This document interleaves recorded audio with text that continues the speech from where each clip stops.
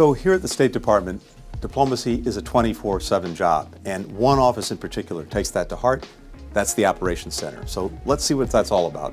Information and communication are the heart of diplomacy, and the Operations Center allows that to happen smoothly. We facilitate conversations that really determine how the U.S. Uh, presents itself abroad, keeping our U.S. citizens safe.